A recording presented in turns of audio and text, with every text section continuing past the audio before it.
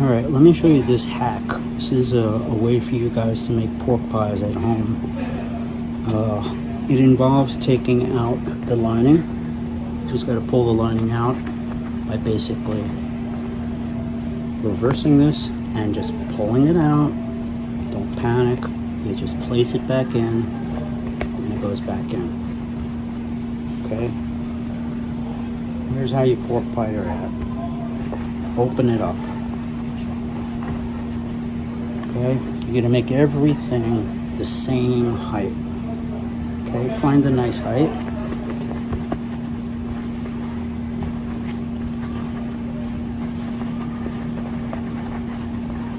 What you want to do is judge this distance to be the same.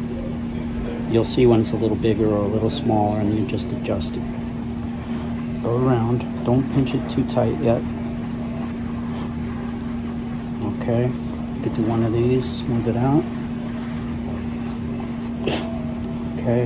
Pinch it around. Turn it upside down. Okay, now you're gonna punch the middle in. Okay, and now you're gonna start in the middle and make concentric circles, getting bigger and bigger. Okay, until this little moat here gets really thin, like this. All the way around in a circle, concentric circles. Getting thinner and thinner and thinner. On the other side, it looks like this. Okay? Go around and do it in circles like that on the inside. Go around and around. It's hard for me to do it now because I'm holding the camera.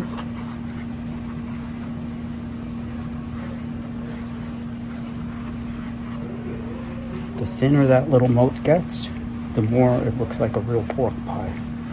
Okay, if you pop it out and you mess that little moat up, you just start again from the beginning.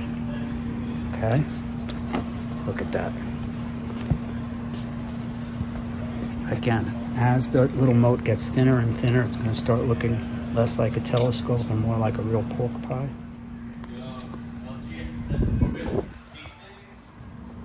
All right, got the hat back to normal.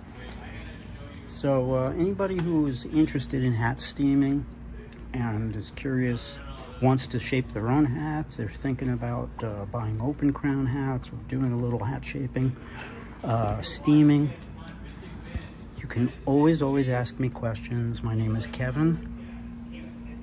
And I always check my comments. Please, if you need any tips, any questions on hat steaming, I'm uh, I'm here for that. That's the whole reason for my show here. The uh, channel is basically to get my knowledge into your heads, pass it along. So uh, eventually, when I'm not doing this stuff anymore, one of you guys will be doing it, or a whole bunch of you. Gotta pass the torch, right? So yeah, I'm gonna show you some easy hat shaping stuff. Uh, a lot of that stuff from now on. There's there's just so many easy things uh, that you guys can be doing. You know, cattleman creases with one hand. You know, it's not hard. Remember, the side always looks like a letter D.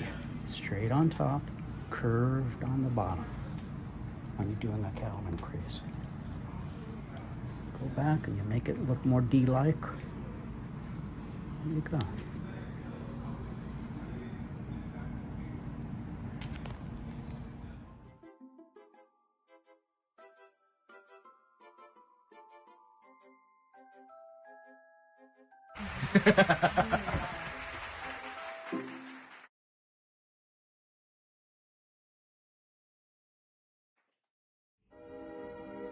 And now, folks, it's time to say goodnight.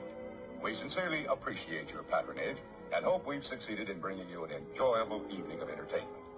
Please drive home carefully and come back again soon. Good night.